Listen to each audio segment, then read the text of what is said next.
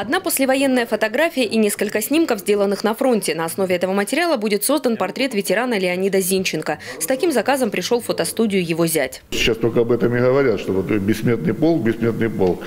Супруга, значит, говорит, Боря, иди, закажи, сделай фотографию. Вот пойдем на 9 мая, значит, обязательно пойдем.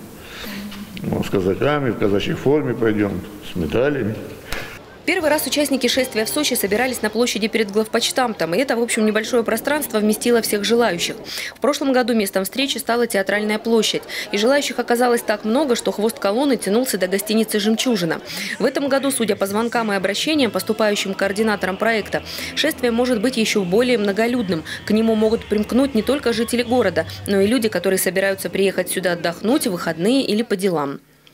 К движению можно присоединиться и на сайте Бессмертного полка, разместить фотографию, рассказать о своем фронтовике. Координаторы подчеркивают, для них важно сохранить искренность идеи и избежать формализма. Для бессмертного полка совершенно не имеет никакого значения, с какой фотографией вы придете и встанете э, в полк. Будет она на штендере, или это будет какая-то маленькая фотография, старая, ветхая, которая у вас сохранилась. Важно, чтобы приходили именно семьи. Когда отец ведет за руку сына, наверное, эффект наверное, больше и качественный будет от того, что они пришли в этот день. Впрочем, и желание сделать профессиональный портрет объяснимо. Это возможность восстановить образ близкого человека, пока есть кому помнить его черты, и сохранить и для семейной истории, еще раз ощутив родство, и для истории страны в целом.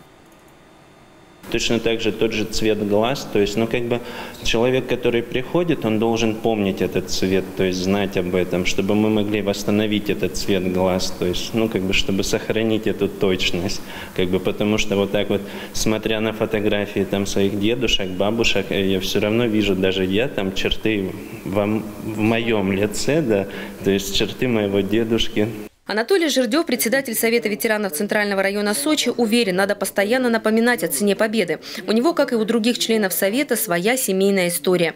Дядя Анатолия, Владимир Банадысев, погиб перед самым концом войны. В предместьях Берлина 19 апреля был убит. В 19 лет мальчишки. Мои внуки обязательно пойдут с этим портретом в составе бессмертного полка. Наши школьники должны знать об этом, что это были не марши победы, это были марши крови, пота, огня, ранений и смертей.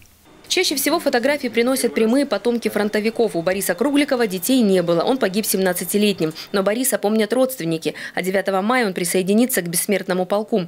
Сбор участников шествия в 9 часов перед Зимним театром. А в 10 часов колонна отправится по курортному проспекту к памятнику «Подвиг во имя жизни». Акция пройдет также в Адлере и Лазаревском. Галина Моисеева, телекомпания ФКТ.